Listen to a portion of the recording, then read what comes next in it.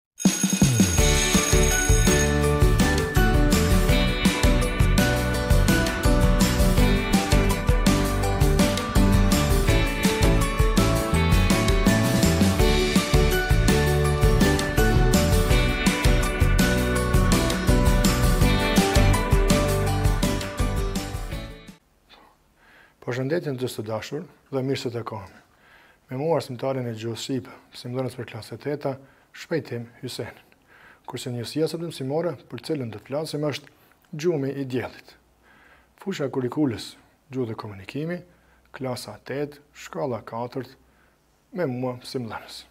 Vazhdojmë tutje me rezultatet e të nxënit për orë mësimore. Kur nxënësi përshkruan dhe përcakton idetë dhe tiparet kryesore të teksteve letrare dhe jo letrare, identifikon elementet përbërëse të romanit, si dhe analizon strukturën e tregimit të shkurtër dhe të romanit, si dhe zhvillon atë varësisht prej prirjes. Shohim po ashtu fjalët kyç, të cilat janë prozë, roman, diell, personazh, mësues. Kurse burimi i kësaj njësie mësimore është Leximi letrar për klasët e teta, faqe 81. Lexojmë një fragment të shkëputur nga romani Gjumi i diellit. Vetmia po hapte gojën e vet të madhe, asaj të marte të nëntorit të vonë, Ndërsa dielli i rilindur po avullonte tokën e rrahur nga shirat e paprera. Dita zgjatej e zgjatej, bëhej ditë, muaj, ditë, vit, ditë e pafund. Po e marta ishte e verdhë në qytet, e verdhë dhe e shkretë, më e shkretë se vjeshta që po ikte, ashtu e lënë në agoninë e rrezeve me dhëmbë të diellit të rilindur papritur. E fjala s'ishte. S'ishte as fryma e vogët që del nga goja e mikut dhe si re mjegulle hapet nëpër ftohtësinë e ditës dhe shënjon një prani. As si kuptim që bartet nga goja në vesh për të dhënë të përditshmen apo të papriturën, as si thirrje që me zërin e vet të hyjë nëpër të gjitha rrugët e ngushta të qytetit dhe nëpër kthinat e fshehtësisë, që si zë i trashë t'i zgjojë nga gjumi i rëndë të gjithë ata që po flinin. Këmbët po e shpinin në sheshin e lypsave. Mendja po u thoshte, aty mund të jenë ata, leckanat, e qytetit errë e terrë. As verdhësia e vjeshtës dhe gjethet që i mbulojnë ashtu të verdhura natën, as bora, e acari. Po lypsit nuk ishin. S'e fjala nuk ishte. Po heshtja e vetmia.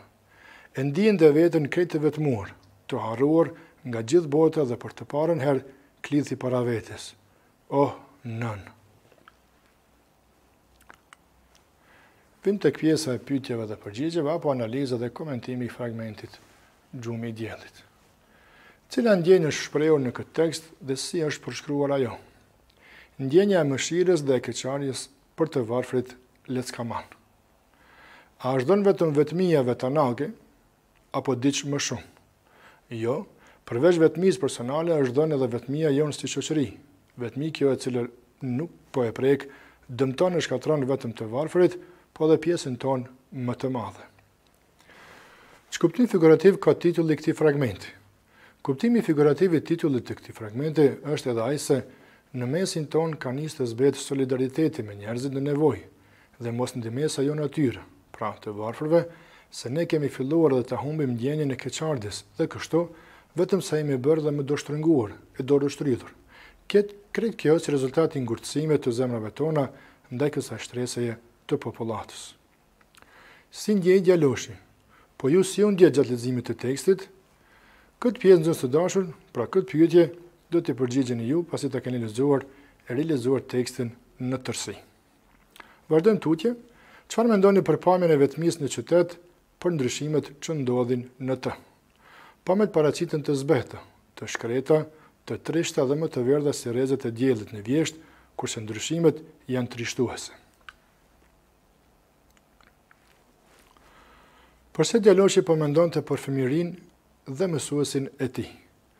I zhytur në mendime të thella nga situatat e reja të krijuara në qytet, heshtja dhe pllaja e madhe që e kishin kapluar qytetin, e kishin bërë djaloshin të kujtonte fëmijërinë e tij plot zhurmë dhe në të njëjtën kohë t'i kujtoheshin fjalët e mësuesit me të cilin të shumtën e rasteve bisedonte në heshtje, Sepse, heshtja do të thotë shumë dhe se ishte, një prej mënyrave të të bashkëbiseduarit.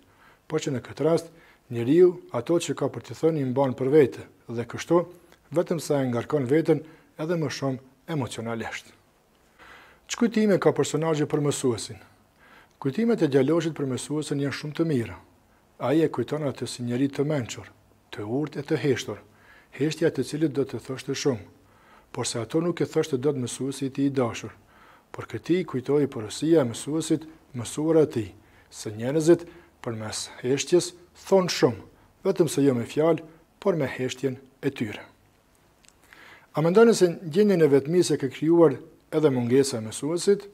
Edhe kësaj pyetje do t'i përgjigjeni ju, nxënës të dashur. Vazhdojmë pra me pyetjen e radhës, Cili është çasti më kulmor i gjendjes shpirtërore të personazhit? Ajo e mungesës së lypsarëve leckamanë në vendin e zakonshëm, në vend të të cilëve ai gjeti klithmen dhe heshtjen e cila për të fliste më shumë se çdo gjë tjetër. Në vazhdim shohim një paraqitje të perëndimit të diellit, në fakt, që shkon drejt gjumit të tij.